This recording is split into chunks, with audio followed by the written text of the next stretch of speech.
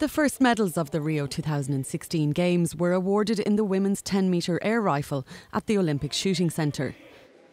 It came down to a battle between two former shooting champions and a 19 year old newcomer, US student Virginia Thrasher.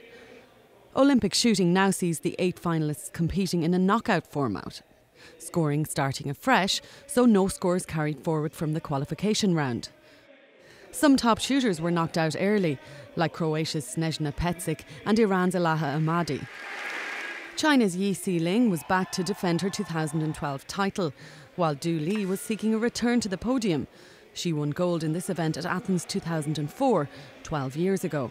The American youngster Virginia Thrasher didn't appear to be fazed by the pressure of an Olympic final. She never dropped out of the top three. Yi Siling took an early lead, but Thrasher was able to fight back with rounds like this one. A 10.6 on shot 9, just 9.6 from Siling there. Du Li moved from fifth place up into medal contention with an excellent 10.8 on shot 12.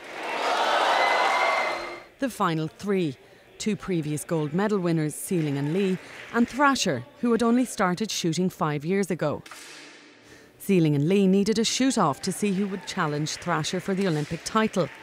A disappointing 9.8 for the defending champion left her in the bronze medal position. For gold, it all came down to the final shot. The two shooters prepared to fire one last time. A 10.4 for Thrasher, and she knew she was the new Olympic champion.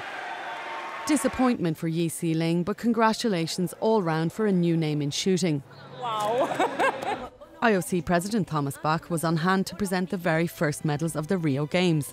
The bronze medal then for Siling, silver for Du Li, who won Olympic gold in this event in Athens, and gold for Virginia Thrasher in her first major international victory. Senhoras e senhores, as medalhistas olímpicas.